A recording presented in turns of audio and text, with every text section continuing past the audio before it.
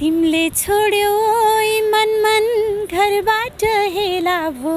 अब जुन अस्ताउने बेला भो। आकाशैमा ओइ मन मन चिल घुम्यो फनाना।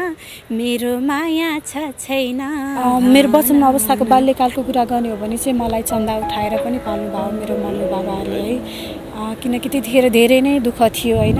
त्यो अवस्थाहरूमा धेरै नै उपचारको लागि होइन।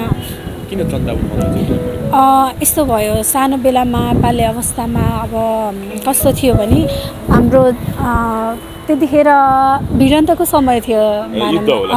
हजुर हजुर। त्यतिखेर चाहिँ मेरो बाबा जेलमा पर्नु भएको थियो माओवादीको उसमा कि अब आरोपमा। अब हाम्रो पेसा भनेको त कपडा सिलाउने भनौँ न होइन? त्यस्तो थियो। अब यता टर्चर माओवादीले दिइरहेको थियो कि कपडा सिलाउनु भनेर उता आर्मीहरूले सोचिरहेको थियो कि माओवादीको कपडा सिलाएर माओवादी भयो भन्ने होइन? अनि त्यही आरोपमा नै बुवा जेलमा हुनुहुन्थ्यो होइन? अनि त्यतिखेर हाम्रो फ्यामिली चाहिँ धेरै नै नाजुक अवस्थामा हुनुहुन्थ्यो। मम्मी एक्लै हुनुहुन्थ्यो घरमा। अब दुई हामी चारजना फ्यामिली हो। मेरो दुई दुईजना दिदी हुनुहुन्छ एकजना दाइ हुनुहुन्छ। अनि त्यतिखेर हजुर अनि त्यतिखेर अब मम्मी एउटालाई पाल्नको लागि धेरै नै गाह्रो थियो भनौँ न त्यो पुरानो अवस्थामा। अनि त्यतिखेर चन्दाहरू उठाएर पनि धेरै नै सङ्घर्ष गर्नुभएको थियो। थियो तिमी माया गर या नगर जे गर्नु मायाले गर्छ। चाहे मार या नमार जति सबैजना राम्रो मान्छे हुन्छ भन्ने पनि छैन नि त पछाडि मायाले ड्रिङ्क मार्छ। आउनेहरू पनि हुन्छ कुनै कुनै बेलामा त्यतिखेर चाहिँ आफू अलिकति स्ट्रिक्ट रहनुपर्छ। परदेशीको के भएर हुन्छ र कि फर्किन्छ कि धाउँछ बगर? नारायण थानमा गेट। मरे चिठी धागोले बाँधेको बाँचे होला भेट धागोले सोध्नुहुन्छ। बाँधेको बाँचे होला भेट कस्तो मान्छे भयो भने चाहिँ ओहो ओके अब अगाडि बढाउन सकिन्छ होला सम्बन्ध भोलि जीवनसाथीकै रूपमा पनि स्वीकार गर्न सकिन्छ होला भन्ने लागेको छ कस्तो खालको क्राइटेरिया पुरा गर्नुपर्छ केटाले दर्शकबिन स्वागत छ म जनक थापा मगर यतिखेर मसँग एकजना असाध्यै राम्री बहिनी हुनुहुन्छ। खास गरी हामीले चाहिँ उहाँलाई यो शङ्खमूलमा चाहिँ यो शङ्ख पार्कमा शङ्ख पार्कमा चाहिँ चटपट बेचिरहनु भएको रहेछ। त्यो अवस्थामा फेला पार्यौँ र असाध्यै हँसिली रसिली हुनुहुन्छ राम्रो काम गरिराख्नु भएको छ र गीत पनि मिठो गाउनुहुन्छ भनेर हामीले थाहा पाइसके पछाडि आज हामी उहाँसँग कुराकानी गर्दैछौँ। र भन्नुपर्दा देशमा एक ढङ्गले भनौँ न बेरोजगारीको समस्या भयावह भइराख्दाखेरि यसरी काम गर्दाखेरि पनि केही हुन्छ भन्ने एउटा प्रेरणादायी भिडियो बन्न सक्छ भन्ने हिसाबले पनि म उहाँसँग जोडिएको छु। अब चाहिँ म फर्दर कुराकानी गर्दैछु। नमस्ते बहिनी। नमस्ते। यहाँको शुभ नाम। मेरो नाम सपना परियार हो। सपना होइन? कति भयो तपाईँले यहाँ चटपट व्यापार गर्दै आउनुभएको? तिन चार वर्ष भयो व्यापार गरेको चाहिँ पसल खोलेको चाहिँ पाँच वर्ष जति हुन लाग्यो। है? असाध्यै मिठो चटपट बनाउनु हुँदो रहेछ। होइन? तपाईँले बनाउनु भएको चटपट हामीले पनि खायौँ। असाध्यै खुसी लाग्यो। थ्याङ्क यू हजुरको कमेन्टको लागि। अलिअलि मिठो बनाउँछु भनौँ न। हजुर। मुस्कान पनि त्यस्तै मान्छे पनि राम्रै चटपट पनि त्यस्तै मिठो। हस् थ्याङ्क यू चटपट भन्दा नि अझै कडा र मिठो चाहिँ चिया बनाउनु अँ यहाँ चिया स्पेसल हो नि त नि। चिया अब नाम पनि स्पेसल नै छ third class tea shop third class tea shop चाहिँ किन हो? कसरी भयो? यो नाम चाहिँ कसरी भयो भन्दाखेरि कतिपय ठाउँमा राम्रो नाम हुन्छ फर्स्ट क्लास हुन्छ। नाम राम्रो हुन्छ अनि गएर चियाहरू खाँदाखेरि चाहिँ नाम चाहिँ यस्तो चिया चाहिँ यस्तो नमिठो भन्ने हुन्छ नि त। अब हाम्रो यहाँ थर्ड क्लास टी सब नाम राखेको छ। अब त्यसको मतलब चिया खाने आउने मान्छेहरूले मिठो भयो नि नमिठो भयो नि कमेन्ट गर्न पाइँदैन। त्यही भएर ढुक्क भएर तपाईँकै कन्सेप्ट हो क्या थर्ड क्लास टी सप राखौँ भन्ने चाहिँ? यो चाहिँ मेन चाहिँ हाम्रो बिनाज हुनुहुन्छ। हामी सबैजना मिलेर राख्या है? कस्तो भइरहेछ व्यापार? हामीले तपाईँको पसलमा होइन घुम्दै गर्दा अथवा त्यहाँ आउँदै गर्दा थुप्रै मानिसहरू चटपट खाइरहनु भएको चिया पिइरहनु भएको भेट्यौँ। कतिको राम्रो छ व्यापार व्यवसाय यहाँ? व्यापार व्यवसाय चाहिँ राम्रो नै छ। अहिलेसम्म चाहिँ त्यस्तो घाटामा पनि गएको छैन होइन? राम्रो नै छ भनौँ न। कतिसम्म कमाउनुहुन्छ दिनमा तपाईँले सपनाले? दिनमा अब पहिला पहिला चाहिँ अलि नै हुन्थ्यो होइन? भनिरह्यो कि अझ? अहिले चाहिँ ठिकै ठिकै हुन्छ। अहिले भन्ने नि कतिसम्म कमाएको छ भन्ने नि किन? जान्नु चाहन्छु। अहिले चिसो याममा चाहिँ अलि अ, चटपटे भन्दा चिया बढी जाने भएकोले चटपटे चाहिँ खासै हुँदैन भनौँ न। थोरै थोरै हुन्छ। दिनमा कतिसम्म कमाउनु भएको छ भनिदिनु दिनमा दुई हजार पच्चिस सय। अहिले चाहिँ पहिला पहिला चाहिँ चार हजार पाँच हजारसम्म हुन्थ्यो। भनेपछि त एक लाखदेखि डेढ लाख कमाउनु हुँदो रहेछ तपाईँले चटपटबाट है? एक लाखदेखि डेढ लाखसम्म त अब खोइ हिसाब गर्दै गर्दा त्यस्तै हिसाब आयो नि त चार अब? त्यो पैसा अब सबै एक राख्न पनि मिल्दैन अब सामानको लागि पनि त छुट्याउनु पर्ने हुन्छ होइन सबै अब अहिलेसम्म राखेको भए चाहिँ हुन्थ्यो होला। ए भने चाहिँ अहिलेसम्म जसरी काम गरिराख्नु भएको छ आम्दानी भइराखेको छ कामप्रति खुसी नै हुनुहुन्छ नि तपाईँ होइन? हजुर एकदम खुसी छु। आफ्नो कामप्रति त खुसी नै हुनुपर्छ किनकि आफ्नो काममा गर्व गर्नु नै ठुलो कुरा हो जस्तो लाग्छ मलाई चाहिँ। सानो होस् कि ठुलो होस् काम भनेको काम नै हो नि त। सही हो। हाँस्दा पनि मुस्कान भनौँ न एउटा हँसिलो तरिकाले बोल्नु हुँदो रहेछ। एकदम रमाइलो तरिकाले बोल्नु हुँदो रहेछ। असाध्यै खुसी लाग्यो। अँ म चाहिँ अलिकति गफाडी नै छु बोल्नलाई चाहिँ बोल्छु म। के गफ लाउनुहुन्छ र त्यस्तो गफाडी अब यस्तै त हो नि अब हजुरहरू आउनुहुन्छ हजुरहरूसँग यस्तरी नै गफ गर्छु त्यही हो। सपना चाहिँ यति राम्री हुनुहुन्छ कति वर्ष हुनुभयो? म मिल्छ एकदम पुष्पवर्धनमा ट्वेन्टी थ्री लागेँ। ट्वेन्टी थ्री तेइस वर्षीय युवती हुनुहुन्छ। युवती आजसम्म कसैको त बन्नु भएको छैन नि? छैन छैन। त्यो कहाँ अहिले भन्नु?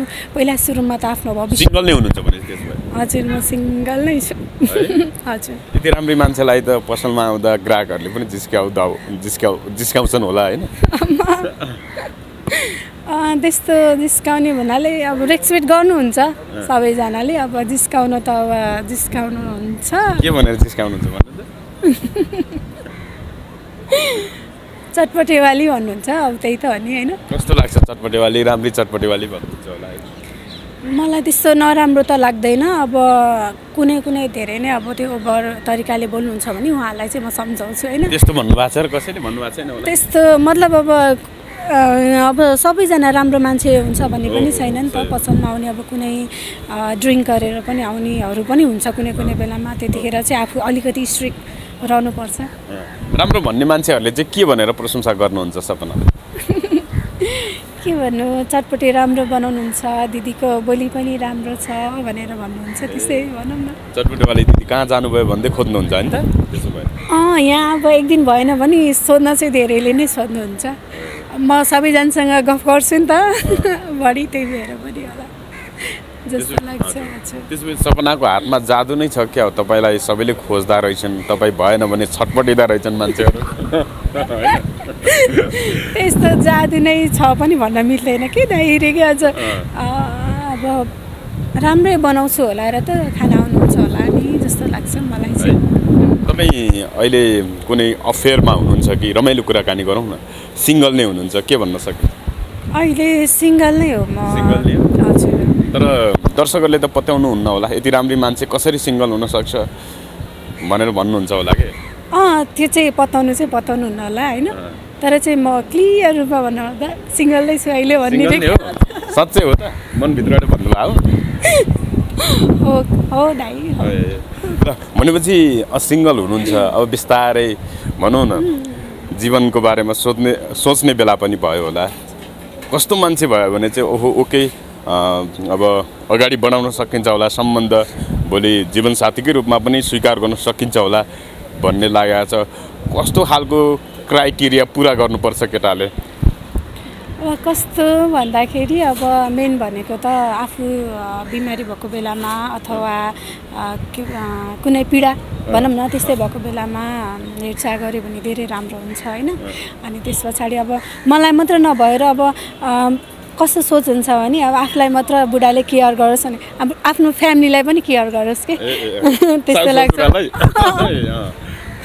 केयर गरेको भए राम्रो हुन्छ जस्तो लाग्छ। अनि उहाँहरूको अब जुन अब मेरो हुनेवाला सासू ससुरा उहाँलाई पनि अब मान्छेले दर्जामा राख्छ सासू ससुराको दर्जा भनेको त्यस्तो भनेर राख्छ। म चाहिँ आफ्नै अब मम्मी बुवा जस्तै ठान्न चाहन्छु कि उहाँहरूलाई पनि। किनकि उहाँहरूले पनि छोरालाई जन्म दिनुभएको मलाई आमाले जन्म दिनुभएको सबै एउटै त हो नि होइन? सबैलाई रेस्पेक्ट गर्नुपर्छ सम्मान गर्नुपर्छ।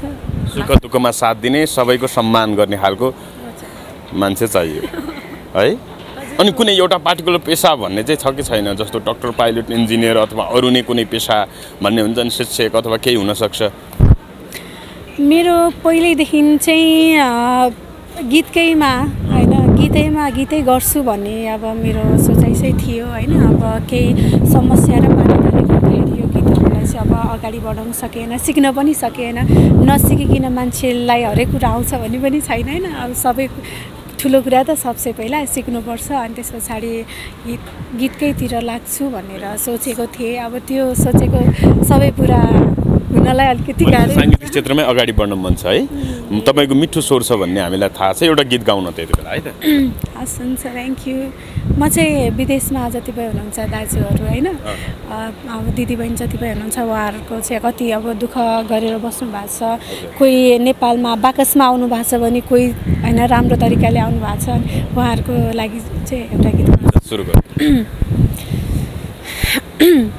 परदेशीको के भएर हुन्छ र के फर्किन्छ के धाउँछ बगर नारायण गेट मरे चिठी धागोले बाँधेको बाँचे होला भेट मरे चिठी धागोले बाँधेको बाँचे होला भेट थ्याङ्क यू सधैँ मिठो छ आवाज सपनाको होइन परदेशतिर कोही हुनुहुन्छ कि जस्तो शङ्का लाग्यो परदेशतिर त धेरै हुनुहुन्छ नि मेरो आफन्त दाईहरू भाउजूहरू सबैजना परदेशतिर नै हुनुहुन्छ होइन आफ्नो जीवनमै साथ दिने कोही मान्छे हुनुहुन्छ जीवनमै साथ दिने मान्छेहरू त अब सबसे ठुलो कुरा त फ्यामिली नै हो होइन?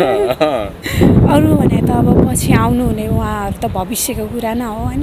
सुरुमा आफ्नो फ्यामिलीहरू हुनुहुन्छ भनौँ न साथीभाइहरू पनि हुनुहुन्छ चटपटी कुराकानी गर्दा चाहिँ मिठो चटपट बनाउँदा चाहिँ के के सामग्री चाहिँदो रहेछ? अथवा रेसिपी चाहिँ के हो? अब रेसिपी पनि भनिरहँदाखेरि अँ,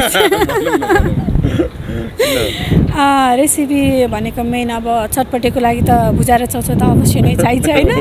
अब चटपटे मसला अमिलो त्यस पछाडि अँ, काँक्रो बन्दा धनियाँ प्याज आलु बदम अनि हरियो केराउ मटरहरू त्यस्तै भनौँ न त्यस्तै एकदमै त्यस्तै। मिठो टेस्टी बनाउन चाहिँ बढी ध्यान दिनुपर्ने कुरा चाहिँ के केमा नुन र पिरोमा नुन कम भयो भने अब कु ठिक्क चाहिन्छ नि त नुन र पिरो। अब फेरि पिरो कम भयो भने पनि मान्छेलाई अब कति पिरो हालेर बनाएको जस्तो हुन्छ अमिलो त्यसमा भनौँ न मसला धेरै पनि हाल्नु हुँदैन भन्ने रे कि? कुनै कुनै बेला त धेरै नै हुन्छ। अरू चाहिँ के गर्दै हुनुहुन्छ सपनाले? अहिले पढ्दै हुनुहुन्छ अथवा पढाइ कहाँ पुग्यो तपाईँको? के छ? पढ्न चाहिँ मेरो मैले पढाइ छोडेको सात वर्ष भयो। बाह्रको एक्जाम मैले लास्ट एक्जाम दिन पाएन। मेरो अपरेसन भएको थियो त्यतिखेर। मेरो एपेन्डिक्सको अपरेसन भएको थियो। अनि त्यतिखेर तिन महिना जस्तो अब भनौँ न रेस्ट नै गरियो। अनि अब कलेज पनि जान पाएन। अनि त्यस्तै परिवारमा केही बाध्यताहरू पनि प्रब्लमहरू पनि थियो त्यतिखेर। अनि म चाहिँ बचपनदेखि नै कसैको दुःख पीडा चाहिँ देख्न नसक्ने कि अब यताउति अब भन्दाखेरि अब भनौँ न अब फ्यामिली प्रब्लमको कारणले पनि अनि म आफै भन्थेँ पछि म आफै कमाउँछु आफै पढ्छु भन्थेँ त्यस्तो सोचाइराख्थेँ। अब पछि भनेर भनेको सात वर्ष जति भइसक्यो होइन। तर अब पढ्न चाहिँ पाएको छैन अहिले होइन। अब अहिले यही बिजनेस भन्नाले आर्थिक अभावले गर्दाखेरि नै अरू फर्दर अथवा हायर स्टडिज गर्न नसक्नु भएको हजुर अब मिडल क्लास फ्यामिलीको प्रब्लम नै त्यही नै हुन्छ होइन। भनौँ न त्यस्तै त्यस्तै कारणहरू पनि थियो। अब त्यस्तै नै हो। बाहिर हँसिलो मुस्कान छ तर आँखा रसाइरहेछ। है मनमा पीडा छ नि? अब मनमा पीडा त सबैको हुन्छ। मेरो पनि छुट्टै कहानी छ। अब त्यो बचपन बेलादेखिकै कहानीहरू धेरै छ। धेरै नै सङ्घर्ष गरेर बाबा मम्मीले हुर्काउनु भयो। पहिला केही थिएन। भनौँ न अब कति भए कुराहरूमा चाहिँ मेरो वचनमा अवस्थाको बाल्यकालको कुरा गर्ने हो भने चाहिँ मलाई चन्दा उठाएर पनि पाल्नु भयो मेरो मम्मी बाबाहरूले है। किनकि त्यतिखेर धेरै नै दुःख थियो होइन। त्यो अवस्थाहरूमा धेरै नै उपचारको लागि? होइन। किन चन्दा उठाउन यस्तो भयो। सानो बेलामा बाल्य अवस्थामा अब कस्तो थियो भने हाम्रो त्यतिखेर भिडन्तको समय थियो। हजुर हजुर। अनि त्यतिखेर चाहिँ मेरो बाबा जेलमा पर्नु भएको थियो। माओवादीको उसमा कि अब आरोपमा। अब हाम्रो पेसा भनेको त कपडा सिलाउने भनौँ न होइन? त्यस्तो थियो। अब यता टर्चर माओवादीले दिइरहेको थियो कि कपडा सिलाउनु भनेर उता आर्मीहरूले सोचिरहेको थियो कि माओवादीको कपडा सिलाएर माओवादी भयो भन्ने होइन? अनि त्यही आरोपमा नै बुवा जेलमा हुनुहुन्थ्यो होइन? अनि त्यतिखेर हाम्रो फ्यामिली चाहिँ धेरै नै नाजुक अवस्थामा हुनुहुन्थ्यो। मम्मी एक्लै हुनुहुन्थ्यो घरमा। अब दुई हामी चारजना फ्यामिली हो। मेरो दुई दुईजना दिदी हुनुहुन्छ एकजना दाइ हुनुहुन्छ। अनि त्यतिखेर हजुर अनि त्यतिखेर अब मम्मी एउटालाई पाल्नको लागि धेरै नै गाह्रो थियो भनौँ न त्यो पुरानो अवस्थामा। अनि त्यतिखेर चन्दाहरू उठाएर पनि धेरै नै सङ्घर्ष गर्नुभएको थियो त्यो कुराहरू। भनेपछि अहिले बुवा आमा र चारजना दिदीभाइ होइन तपाईँहरू? दुईजना दिदी एकजना भाइ तपाईँ हुनुहुन्छ होइन?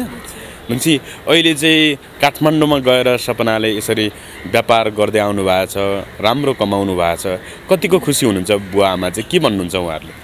धेरै नै खुसी हुनुहुन्छ उहाँहरू चाहिँ किनभने अब छोरीले कमाइ पनि रहेछ घरमा पनि अब हेरिरहेछ भन्नुहुन्छ नि त। जस म प्रति धेरै नै आशा छ भनौँ न उहाँहरूको। अनि त्यस्तै। पैसा पठाउनुहुन्छ होइन त? पठाउँछु अब। म चाहिँ बढी आफ्नो आवश्यकता भन्दा पनि मम्मी बुवाको आवश्यकतालाई पुरा गर्न खोज्छु किनकि कस्तो लाग्छ भने हामीलाई जन्माउन हुर्काउन कति उहाँले सङ्कष्ट अब त्यो सहनुभयो नौ नौ मै महिना कोखमा राखेर कति अब नराम्रो तरिकाले पनि अब हामी गुज्रेका थियौँ त्यतिखेर पनि धेरै बाबा मम्मीले नछोडिकन हामीलाई साथ दिनुभयो अनि अहिले चाहिँ म उहाँलाई साथ दिन्छु भनौँ न। साथ दिन धेरै कुनै समय बुवा आमा तपाईँहरूलाई म साथ दिन्छु भनेको आज बिस्तारै पुरा हुँदै गर्दा हर्षको आँसु पनि झर्छ होला धेरै नै राम्रो भन्नुहुन्छ। के भन्नुहुन्छ भने तिमी धेरै नै बुझ्ने छौ होइन? अब यतिको बुझेर हाम्रो प्रब्लमलाई तिमीले सहयोग गर्छौ खुसी लाग्छ। हामीलाई धोका नदेऊ भन्नुहुन्छ। अब त्यस्तै लाग्छ। अब कुनै कुनै कुराहरूमा त अब भनौँ न। अब अहिले प्रायः जस्तो चाहिँ कस्तो हुन्छ भने केटा र केटी लप पऱ्यो। अनि बुवा आमाको चाहिँ सबै कर्तव्यहरू भुलेर अब मायामा परेर अब भाग्ने त्यस्तो हुन्छ नि त्यस्तो गर्न चाहिँ मन छैन। त्यस्तो अँ त्यस्तो चाहिँ मन छैन। किनकि सबैभन्दा ठुलो कुरा भनेको जन्म दिने बुवा मम्मीलाई नै म विशेष रूपमा राख्छु अनि उहाँहरूलाई चाहिँ चित्त दुखाउन चाहदिनँ। मान्छे सपनाले भनेकै केटासँग ए सरी बुवा आमाले भनेकै केटासँग सपनाको झ्याँ झ्याँ बिहे हुन सक्छ। त्यो पनि हो। एक त मेरो खुसीमा उहाँहरूले नाइ नास्ति पनि गर्नुहुन्न। धेरै बुझ्नुहुन्छ। अहिले चाहिँ कहाँ हुन्छ बुवा मम्मी यतै काठमाडौँ हुनुहुन्छ कि उतै काभ्रेतिर हुनुहुन्छ? काभ्रेमै हुनुहुन्छ बुवा। हजुर। बेला बेला फोन सम्पर्क भइरहेको छ। बेला बेलामा भेट्न पनि आउनुहुन्छ। हजुर। हुन्छ दर्शकहरू हामी सपना परिवारसँग कुराकानी गर्दैछौँ। उहाँले जसरी चटपट व्यापार गर्दै आउनु भएको छ र उहाँले राम्रो काम गरिराख्नु भएको छ र भनौँ न एउटा जुनसुकै काम पनि आफैमा सानो ठुलो भन्ने हुँदैन। काम हाँसी खुसीका साथ ऊर्जाका साथ भित्र मनदेखि गरियो भने सफल हुन्छ भन्ने एउटा प्रेरणाको स्रोत उदाहरणीय पनि बन्नु भएको छ प्रेरणाको स्रोत पनि बन्नु भएको छ र खास गरी उहाँको चाहना चाहिँ साङ्गीतिक क्षेत्रतर्फ केही गर्ने भन्ने रहेछ। उहाँको स्वर पनि मिठो छ तर कहिलेकाहीँ विभिन्न परिस्थिति र अवस्थाहरूले गर्दाखेरि अगाडि बढ्न चाहेको खण्डमा पनि अगाडि बढ्न सकिँदैन। आज बिस्तारै अगाडि बढ्दै हुनुहुन्छ। त्यो हिसाबले तपाईँ हामी सबैले उहाँलाई साथ दिन जरुरी छ। उहाँको स्वर पनि मिठो छ। त्यो हिसाबले म फेरि एउटा गीत उहाँलाई सुनाउनको लागि गीत गाउनको लागि अनुरोध गर्दछु। एउटा फेरि गीत सुनौँ है त दर्शकहरूले पक्कै माया गर्नुहुनेछ यति धेरै रमाइलो तरिकाले कुराकानी गर्नुहुन्छ हँसिलो तरिकाले है। एउटा गीत गाउँ त। हुन्छ साथीहरूको लागि गाउँछु यो चाहिँ। साथी हो तिमी माया गर या नगर जे गर्नु मायाले गर्छ। चाहे मार या नमार जति मार्नु मायाले मार्छ। थ्याङ्क यू असाध्यै मिठो छ है। कसो गीत बढी सुन्नुहुन्छ तपाईँ? म त प्रायः जस्तो कि सबैको सुन्छु होइन? जस्तै अलि मनपर्ने गायक गायिकाहरू अथवा आफूले उहाँहरूको आवाज बेला म चाहिँ सबैलाई रेस्पेक्ट गर्छु दाइ होइन? यो मन पनि त्यो मन पनि नै छैन मेरो लागि चाहिँ सबैजना- त्यति धेरै मेहनत गरेर अगाडि बढ्नु भएको छ होइन? सबैजनालाई चाहिँ। चाहदिनँ सबैजना राम्रो लाग्छ मेरो लागि चाहिँ सबैजना सम्मान हुनुहुन्छ। हुन्छ। सपनाले चाहेको इच्छाका कुराहरू पुरा होस् होइन? तपाईँको व्यवसायको पनि हामी सफलताको कामना गर्छौँ र हामी पछि पनि आवश्यकता अनुसार यहाँसँग जोडिनेछौँ। जाँदा जाँदै दर्शकहरूलाई के भन्न चाहनुहुन्छ? दर्शकहरूलाई चाहिँ म के भन्न चाहन्छु भने सबैजनालाई हेरिरहनुभएका मेरा दर्शकबिनहरू या मेरो ननाता इष्टमित्र जति पनि हुनुहुन्छ मेरो अब राम्रो छ छैन हजुरहरूले कमेन्ट गरिदिनु होला। अनि त्यस पछाडि सबैलाई मेरो तर्फबाट चाहिँ धेरै धेरै माया अनि दुई हात जोडेर नमस्ते भन्न चाहन्छु। अनि सबैजना चिसो याममा छ सबैजना तातो गरी बाहिर निस्किँदा पनि तातो तातो कपडाहरू लाएर जानु होला। अँ, तातो पानी बढी पिउनु होला आफ्नो ज्यानको धेरै केयर गर्नु होला। भन्न चाहन्छु। हस् धन्यवाद। Thank you